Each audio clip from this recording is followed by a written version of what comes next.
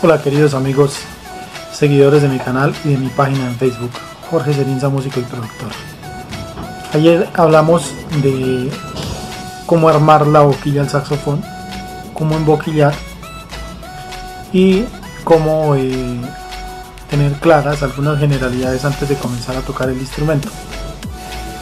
Entonces ayer llegamos a esta partecita que era armar nuestra boquilla. Hoy vamos a adelantar una segunda parte y es la que tiene que ver con el trabajo de la boquilla, el trabajo del cuello el del saxofón y vamos a trabajar las primeras tres notas en el instrumento. Entonces, eh, ayer hablamos de tener mucho cuidado con la parte de la caña para no ir a dañarla, para no estropearla y lo mismo tener el pendiente, no estropear la caña con los dientes. Entonces, por eso hay que poner el labio encima de los dientes para que eh, cuidemos la caña no la vayamos a estropear. Entonces la boquilla se debe colocar por el lado donde está el corcho. Eh, ya con el tiempo iremos aprendiendo la medida en donde ir, qué tan adentro, qué tan afuera porque de acá depende la afinación del instrumento para tocar con otro instrumento que nosotros toquemos entonces es importante tener cuidado con esa parte se darán cuenta que al colocarle el cuello ya el sonido de la boquilla nos cambia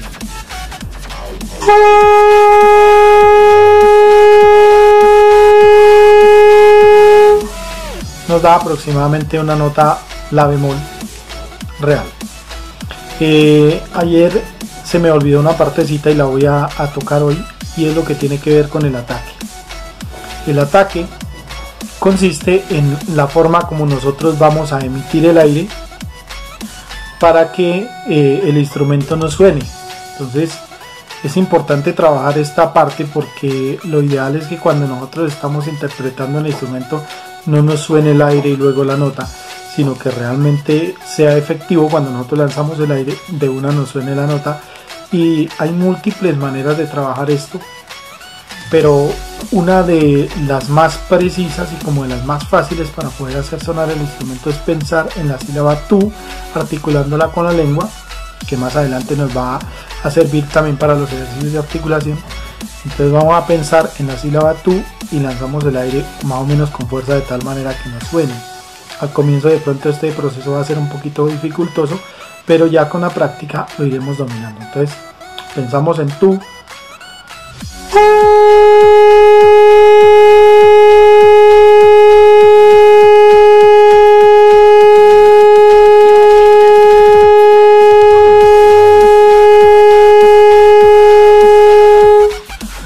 Y tratamos de aguantar el sonido lo más que se pueda. Esta rutina debe adquirir el músico del estudio de sonidos largos porque es realmente esto lo que fortalece eh, la calidad del sonido y lo que nos da la posibilidad de hacer frases muy largas. Entonces tenemos que entrenar el pulmón y el sistema respiratorio para que podamos tomar la mayor cantidad de aire. Más adelante les explicaré algunos ejercicios también que hay muy prácticos para desarrollar la capacidad del aire y para poder botarlo. Listo.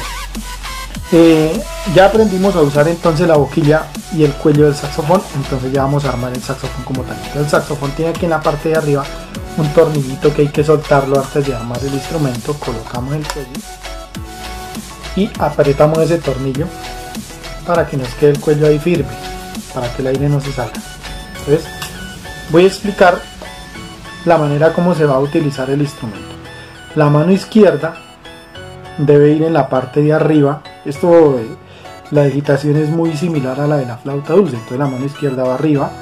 Eh, estos tres dedos de la mitad los voy a usar aquí en las tres llaves que están exactamente para colocar ahí los tres dedos. Aquí tengo un conjunto de llaves que me van a funcionar con el dedo pequeñito, con el dedo meñique. Y el dedo pulgar va por la parte de atrás en un soporte que tiene aquí el instrumento para colocar ese dedo y que me dé la posibilidad de manipular esta llave que va aquí, que es la que sale arriba al tudel, al cuello del saxofón. Entonces las primeras notas en este instrumento que vamos a trabajar son las de la mano izquierda. ¿Por qué?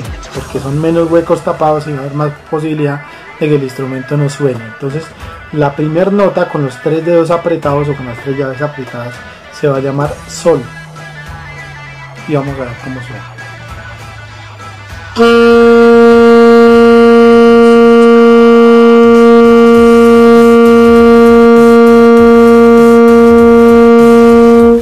Listo. Ese es sol. Levantando el dedo anular, tenemos la nota La.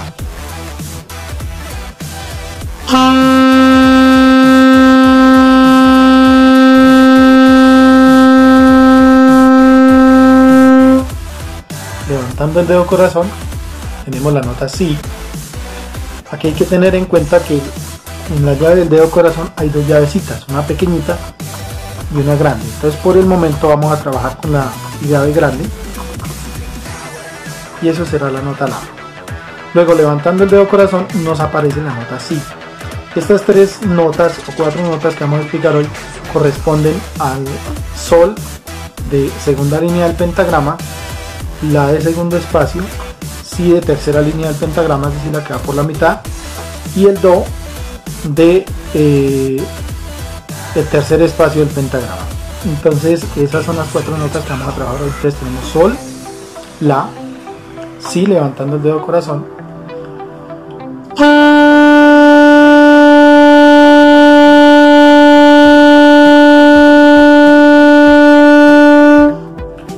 y posteriormente entonces tenemos la nota do entonces para la nota do lo que hacemos es lo mismo que en la flauta. Cambiamos el, dedo índice por el dedo corazón y dejamos destapada la del dedo índice haciendo esta operación. Y aquí nos queda entonces la nota do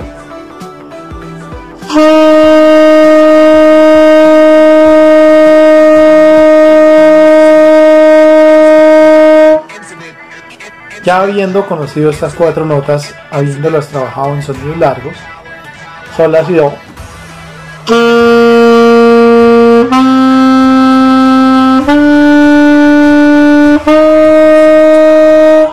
entonces las puedo trabajar como quiera con diferentes duraciones.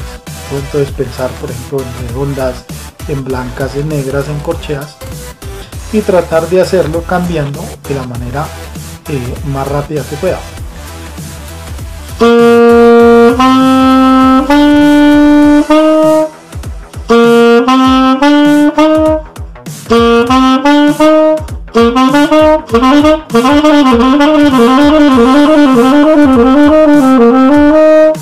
Puedo jugar con esas cuatro notas, sol, la, si y do.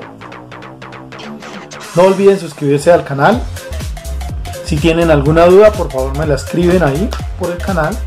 O también me pueden buscar en Facebook como Jorge Serinza, músico y productor. Y también estaré dispuesto ahí a esclarecerles las dudas.